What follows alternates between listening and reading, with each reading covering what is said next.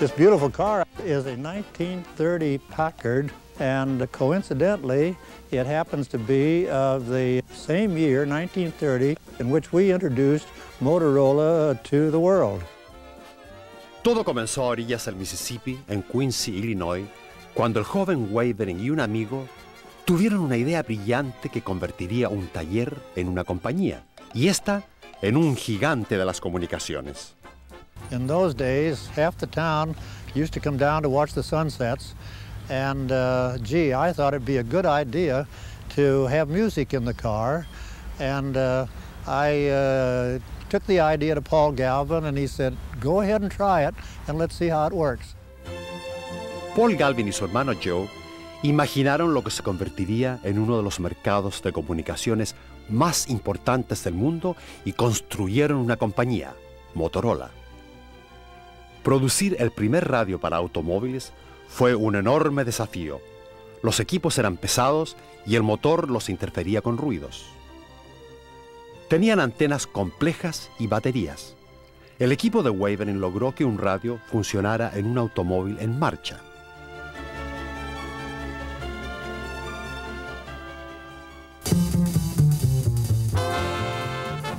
El automóvil significaba movilidad y el radio significaba comunicación.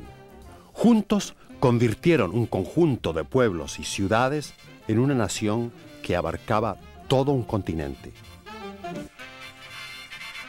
El radio permitía enviar y recibir información al instante y en cualquier lugar. Fue el comienzo de lo que ahora denominamos electrónica. Motorola ayudó a modernizar la policía con radios bidireccionales móviles, algo realmente revolucionario en 1930.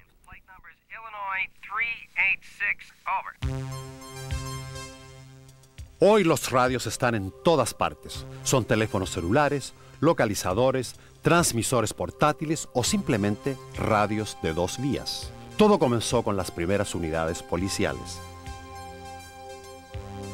En la década del 30, los radios Motorola eran armados a mano.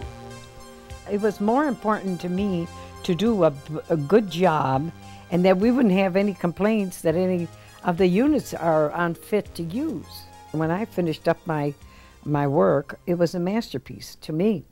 There was something about the Motorola spirit, if you will, or the Motorola family that made everybody want to do their best.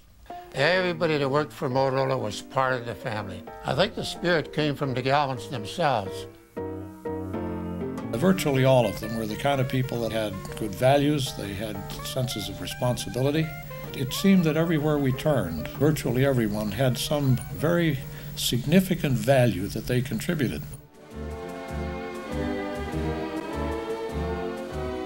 Antes de desatarse la Segunda Guerra Mundial, Paul Galvin viajó a Europa. Allí vio el creciente poderío militar y percibió la inminencia de una guerra. Galvin pidió a los ingenieros de Motorola que desarrollaran sistemas de comunicaciones confiables para el ejército de los Estados Unidos, aunque el gobierno aún no estaba interesado en ellos.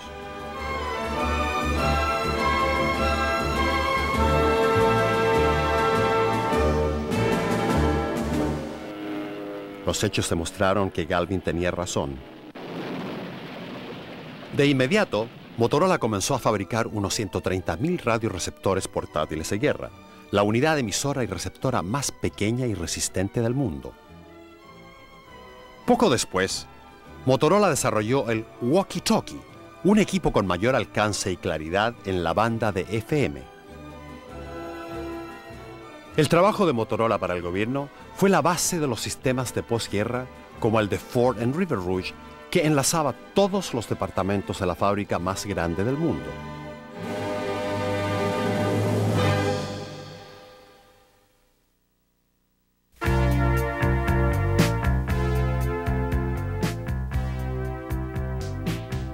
Tras la guerra, Motorola fabricó nuevos productos de consumo, dinámicos y altamente competitivos. Su experiencia se transformó en su principal ventaja en la era de los transistores y la televisión. In my opinion, television has really come of age. It's no longer a medium of entertainment only. but it's become a very important factor in influencing public opinion. Motorola, world's largest exclusive electronics manufacturer, presents Paul Galvin jamás imaginó cómo crecería su compañía con la introducción de los nuevos y poderosos componentes electrónicos denominados semiconductores.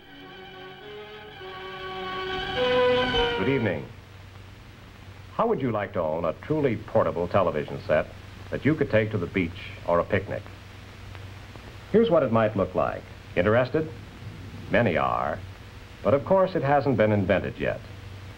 Someday, however, it will be with the help of this little electronic marvel of the future, the transistor.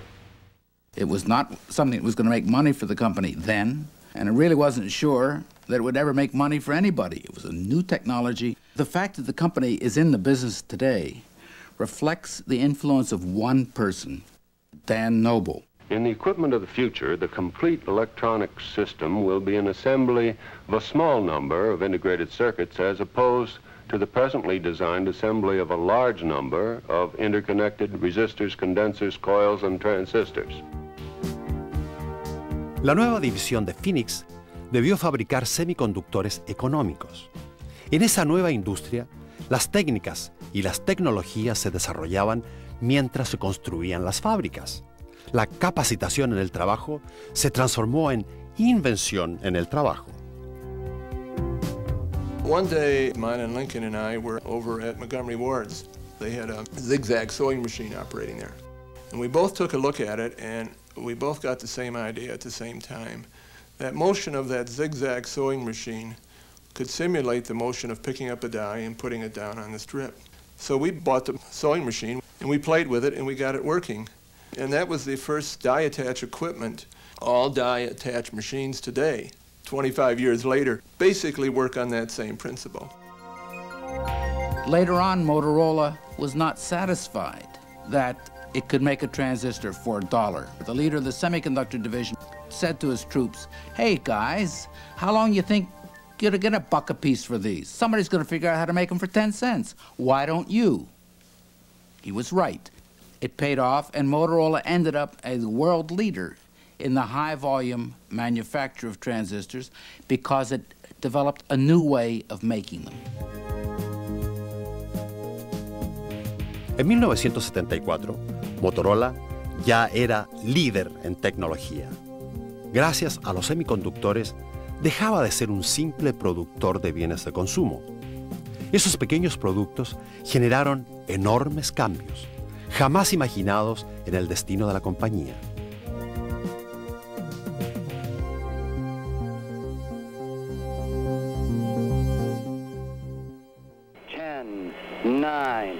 Ignition sequence starts. Six, five, four, three, two, one, zero. All engine running. La era espacial. Para nosotros comenzó con el Explorer. Luego, el Ranger transmitió por radio imágenes de la superficie lunar.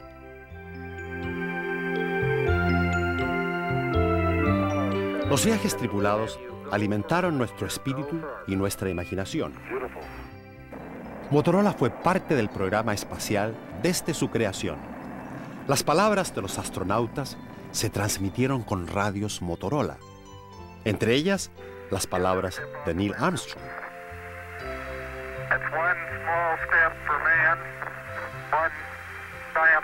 Man, Motorola instaló equipos en todas las naves espaciales, incluso el primer radio para automóviles que llegó a la Luna.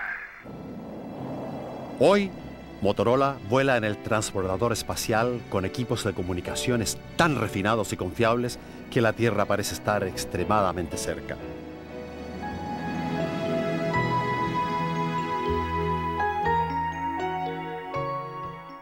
Las ondas no tripuladas tienen enlaces de datos que comunican valiosos descubrimientos a la Tierra.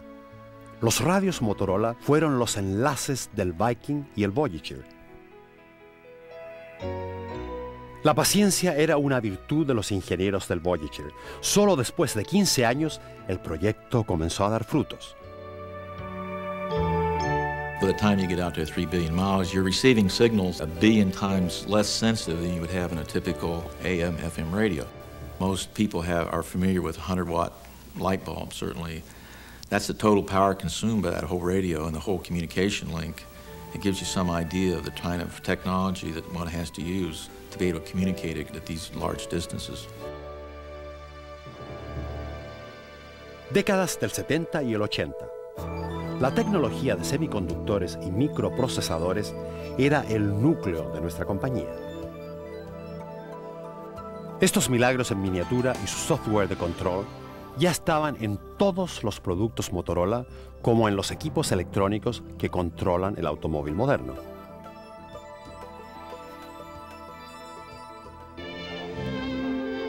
The walkie-talkie makes its debut at a hospital. Paging Dr. X, he listens to the message and if necessary... Motorola introdujo localizadores con mensajes por radio. En la década de los 80, el radiolocalizador Bravo que mostraba el origen de la llamada fue primero en ventas en todo el mundo. Hoy los localizadores Motorola reciben correo electrónico y texto computarizado. To compete in an expanding international marketplace, we had to totally rethink the way Motorola designed and manufactured pagers, and also everything else we made. This was the beginning of our Six Sigma quality initiative and a renewed emphasis on total customer satisfaction. Motorola fue una de las primeras empresas que pensó en los teléfonos portátiles. 15 años y 150 millones de dólares después, Motorola lanzó el sistema celular DynaTAC. La tecnología es celular porque el servicio se presta en áreas pequeñas denominadas celdas. En 1989, el teléfono celular MicroTAC unió el diseño miniaturizado del microchip con los viajes de negocios. En la década del 90, el teléfono de bolsillo StarTAC continuó esa tradición.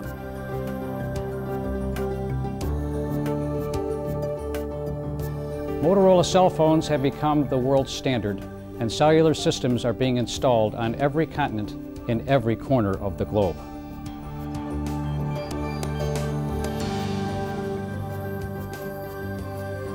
Today, the Motorola family knows no borders, and a transnational workforce enriches the spirit of the company.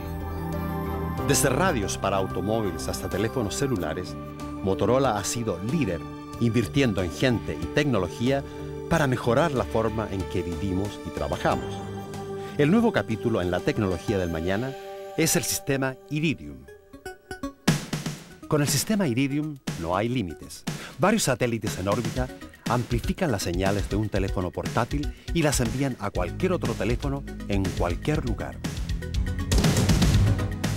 Las comunicaciones globales son el destino constante de Motorola para recibir mensajes sin que importe la distancia por todos los medios y sin barreras.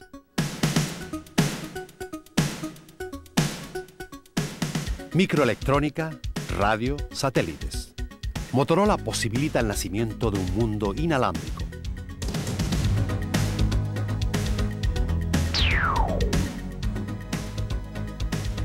Un especialista en desastres coordina ayuda en Bolivia con un teléfono inalámbrico.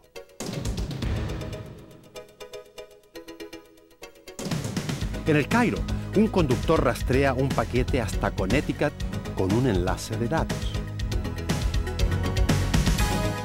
Desde la Antártida, un científico llama a California para obtener datos sobre la capa de ozono. Un piloto de rally transmite a Suecia el rendimiento de un motor en el Sahara. Un equipo en China organiza una videoconferencia con expertos de Hong Kong y Hawái. Capacidades de comunicación para un mundo más productivo, más cómodo, más ameno. Este es el legado de Motorola, una compañía con historia, tradiciones y valores que le han llevado a innovar, crecer, mejorar y triunfar